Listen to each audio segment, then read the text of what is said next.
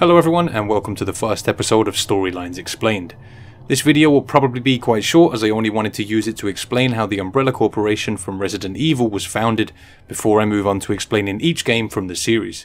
In case you ever wondered where the Umbrella Corporation came from, this video should give you some understanding of its origins.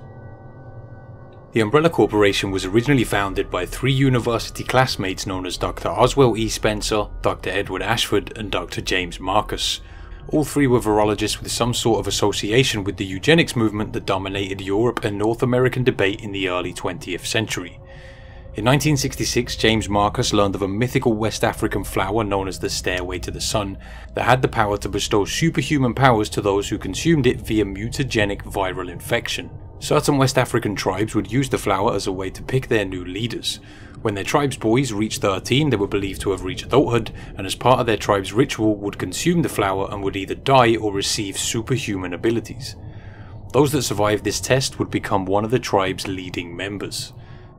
The three doctors journeyed to find this flower in an attempt to replicate and learn from the virus produced within it. They succeeded in finding the flower which did contain viral properties, the virus found within the plant became known as the progenitor virus. The discovery of this virus would eventually birth the viruses that became so well known throughout the Resident Evil franchise, although that would not be for some time. After their discovery, the three classmates attempted to cultivate the flowers in the United States, although they found that the flowers they produced on American soil did not contain the viral properties they originally discovered. Something about the plant's natural environment was responsible for it obtaining these properties. At this point, the group knew they would need to conduct any research on the plant where they had originally found it. And so Oswell Spencer formed Umbrella Pharmaceuticals on behalf of his two other classmates and constructed a base in the location in which they discovered the plant. They then went on to use the newly founded Umbrella Corporation to transport samples of the progenitor virus across the Atlantic back to the United States for further research. At this time, the three found that they would require more funding than they could provide, and so devised a plan to sell weaponized versions of the progenitor virus to the US military. This plan would later become known as the T-Virus Project.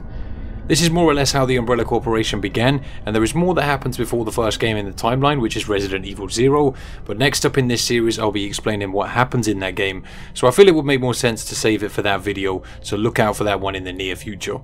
I'll be trying my best to cover the entire Resident Evil series of games, and I wanted to throw out this short video first to give a brief explanation of how Umbrella got started.